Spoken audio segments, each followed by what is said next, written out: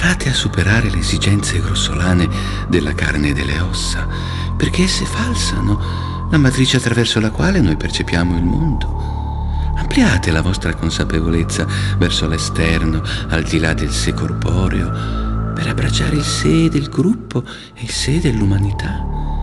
Gli obiettivi del gruppo e della razza superiore sono trascendenti e accoglierli e raggiungere l'illuminazione. Presidente Cinci Yang, saggi sulla mente e la materia.